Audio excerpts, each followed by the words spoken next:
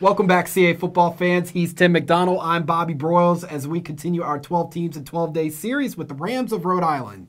Tough first season for new head coach Jim Fleming as Rhody finished 1 and 11, but growing pains are expected when you bring in a new head coach. The Rams were able to gain some momentum heading into the offseason, though, Tim, picking up that win over Towson in their season finale. Yeah, I think we both can agree Coach Fleming, Jim Fleming, is the guy for Rhode Island. I think mm-hmm. he's in it for the long haul. Should see some improvements under Rhode Island this year. You know, you hang your hat on you, progression is such a big theme with these early teams in the 12 teams and 12 day series, Bob, because it's true. You know, as corny as it sounds, Coach Fleming and Rhode Island, they're still building. You know, these players are still learning the offense, they're still learning the defense. You have to hang your hat on that big win over Towson at the end of the season, give the players something to celebrate. Again, Rhody this year brings back, the good news is you bring back eight starters on both sides of the ball defense and special teams is probably going to be a little bit of a bright spot this year. You look at Miles Holmes; he's a guy who earned respect enough throughout the league to earn preseason all return specialist honors. Coming into this year, he had over 700 return yards, and he's also a DB with some experience, which helps. Mm-hmm. Of course, you lose Andrew Bose, who was an All-CAA linebacker, but you bring back Tim Wineclaw, a guy who on defense you, you think can get some things going. You bring back Adam Parker, also another linebacker who can fill some holes. But again, with this Rhode Island team, it's going to be a slow progression, Bob. But you'd like to think with Jim Fleming, they have the uh, the foundation that they're looking for. Absolutely. During media day, we caught up with Coach Fleming about entering his second season as a leader of the Rams. I think second season, no matter how many starters you got coming back, is a big deal.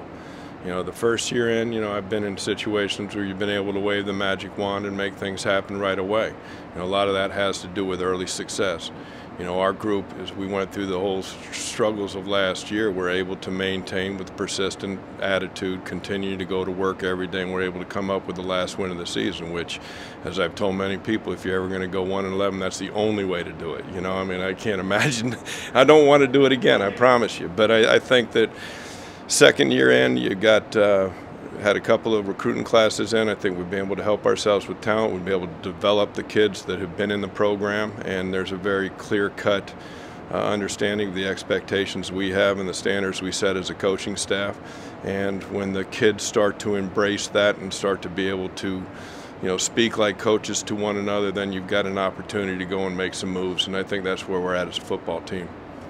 The big struggle last year for this team notably was the offense, Tim, as that unit at times struggled to generate points, averaging only 12 and a half points per game. What improvements are you expecting this season from the offensive side of the ball? Well, I don't think it's going to be anything too drastic. You know, we're not going to come out and see this team light up the scoreboard right away, but I think, you know, again, like we say, there is still progression. You look back at some of the key spots and some of the key guys that are returning.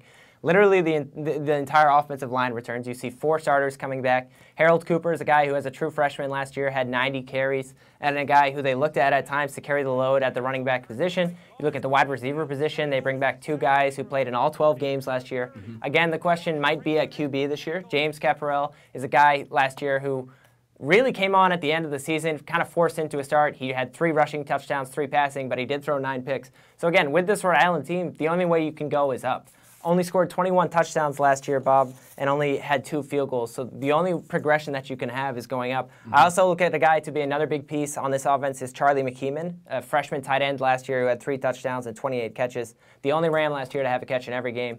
Offensively, Rhode Island needs to score more points, and I think that's the only way you can go up right now. As Coach Fleming explains, it could be a unique quarterback battle heading into training camp.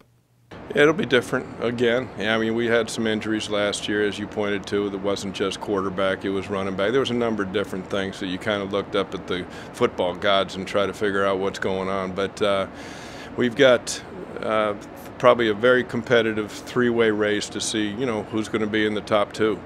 Uh, we've got a kid named Paul Miraz, who is a JC transfer quarterback, got two years left Brockton, Massachusetts native. Uh, got uh, Jimmy Caparell, who's a player that started six games for us last year, you know, and we've got who will be a sophomore, and then we've got another freshman named Jordan Vizano, who uh, came in mid-year last year, uh, able to get through spring practice and showed us some things, and then we've got a couple other quarterbacks that we brought in the recruiting classes, so we we got our work cut out for us. We've got to be able to get into training camp. We've got to be able to evaluate and determine which way we're going with the quarterback position.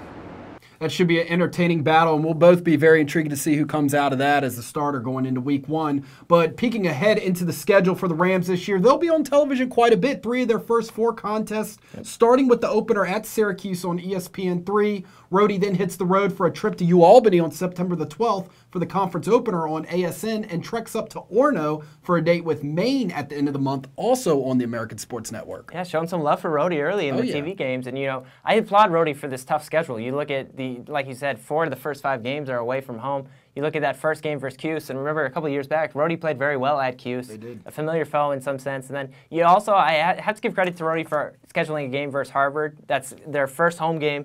That's still a very tough home game. That's Harvard team out of the Ivy League that has been an FCS power in recent years.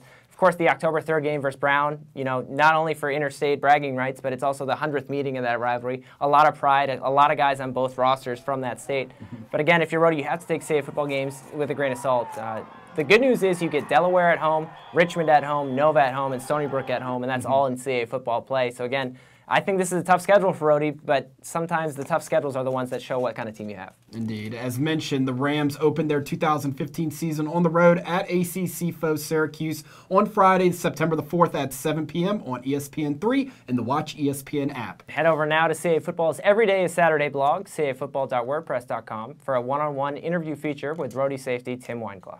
Tim and I will be back at it tomorrow at 11 a.m. previewing the UAlbany Great Danes who look to build off a successful first year under coach Greg Gattuso.